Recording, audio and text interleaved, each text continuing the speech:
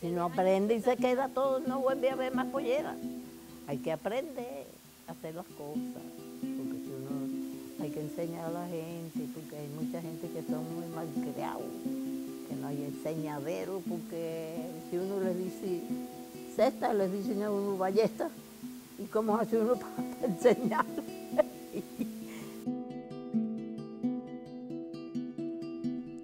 La destreza se la han dado los años. Con la mirada fija en el mundillo, doña Leonor Herrera teje una trencilla. Pronto cumplirá 95 años.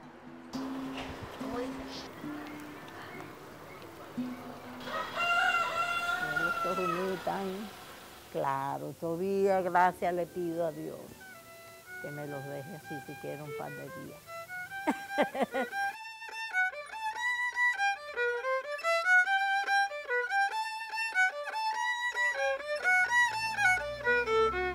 Y aquí no hay nada que le diga a usted dónde tiene que pisar. Aquí es tacto, oído y conocimiento. Tenemos que, darle valor a la cultura y, y que no se pierda la cultura. Si no se pierde la cultura, no se pierde la nacionalidad panameña.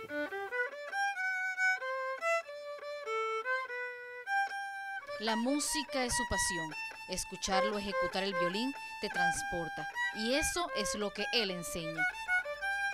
Seferino Nieto, el titán de las Américas, no esconde su emoción de enseñar a los niños este difícil instrumento. Yo estoy muy contento con la niñez. Mire, el acordeón es comercial, el violín es sentimental, pero hay más niños y niñas aprendiendo a tocar violín que acordeón.